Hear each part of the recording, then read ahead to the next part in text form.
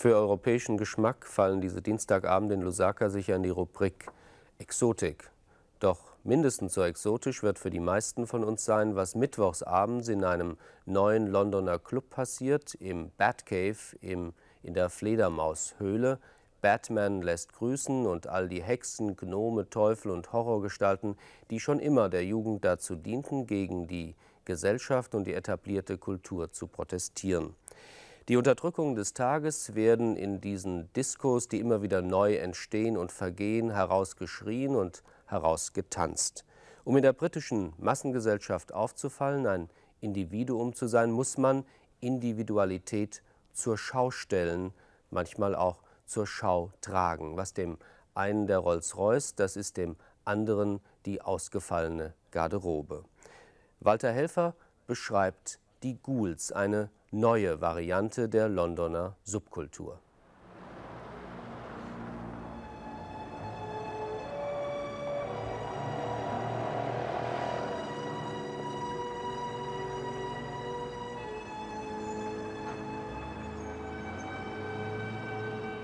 Wenn abends, kurz nach 10, für Musicals und Theater der Vorhang fällt, wimmelt es noch einmal im Londoner West End. Das Publikum, nach zweistündiger Kulturinfusion angeturnt, wenn auch in sehr bürgerlicher Form, strebt eilig heim ins Haus oder Hotel.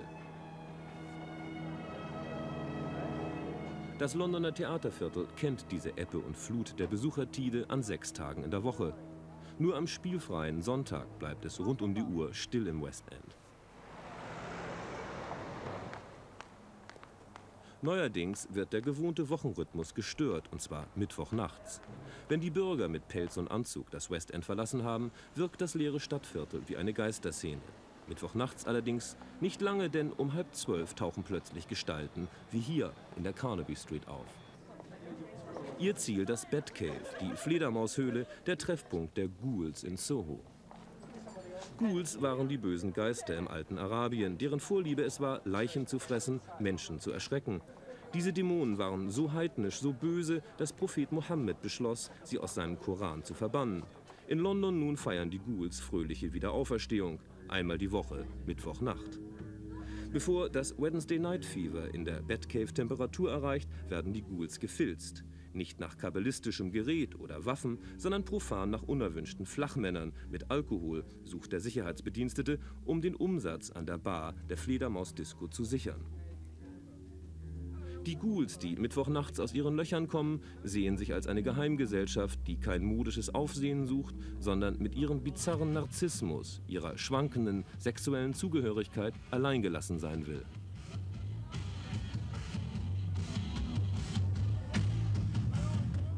Der nächtliche Tanzabend der gulischen Subkultur beginnt mit herkömmlicher Diskomusik.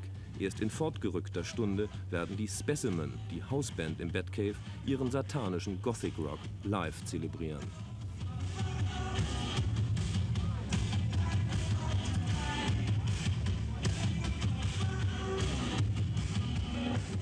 Der Ghoul links und der in der Mitte gehören zu der Dämonenband, die gerade von einer erfolgreichen Tournee aus den USA zurückgekehrt ist. Ihr bisexueller Horror, das Leitmotiv des Gothic Rock der Specimen, ist drüben gut angekommen. Beweis dafür, dass die Briten noch immer ihre Vettern auf der anderen Seite des großen Teiches mit exotischen Einfällen versorgen. Ein lebender Alligator als Haustier gehört dazu.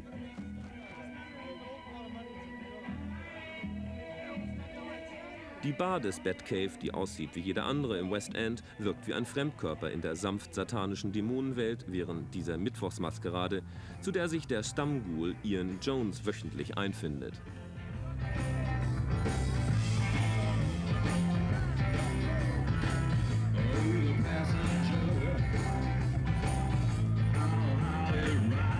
Eine tätowierte Fledermaus weist diesen vermutlich weiblichen Ghoul als zünftiges Mitglied des verrockt verrückten Dracula-Clubs aus. Ein echter Ghoul braucht indes keine Tattoos, um seinesgleichen zu erkennen. Andere optische Signale sind reichlich vorhanden.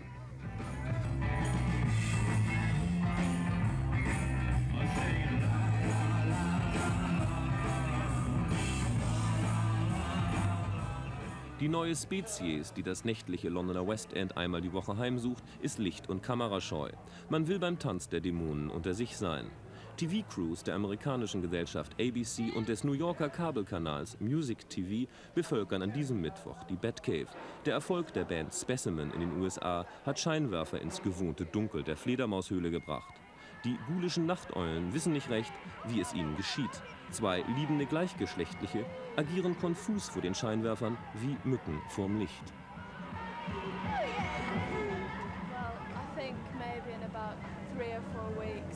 Diese Mittwochsdämonin meint, in drei, vier Wochen werde sie die Höhle verlassen, sich einen neuen Rastplatz suchen. Sie will im Untergrund bleiben, ihre Privatsphäre erhalten. Es mag wunderlich klingen, aber sie will das kultisch Geheime der Bewegung bewahren.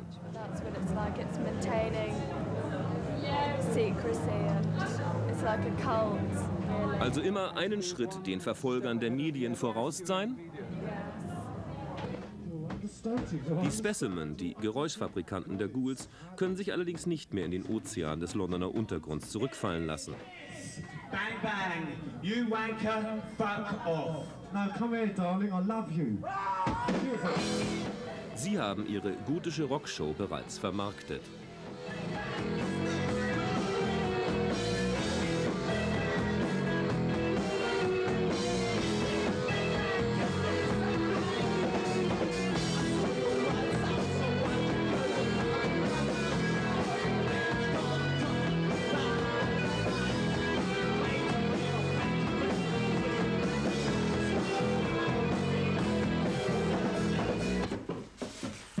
Ian Jones und sein Mädchen kehren bei Sonnenaufgang zurück nach Hause. Der Tanz der Dämonen endet um 6 Uhr morgens.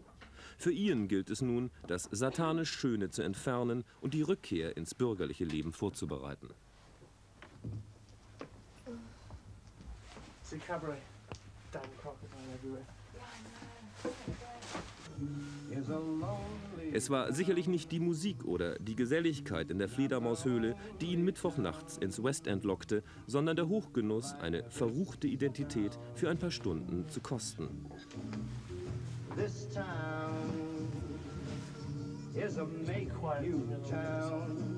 Frankie Boy hilft akustisch, die Rückkehr in die real existierende Welt zu erleichtern.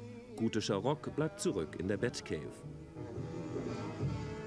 Die Rollenverteilung an diesem Donnerstagmorgen ist wieder in Ordnung. Sein Mädchen kann ausschlafen, der abgeschminkte Eintagsdämon Ian Jones muss hinaus, um Geld zu verdienen.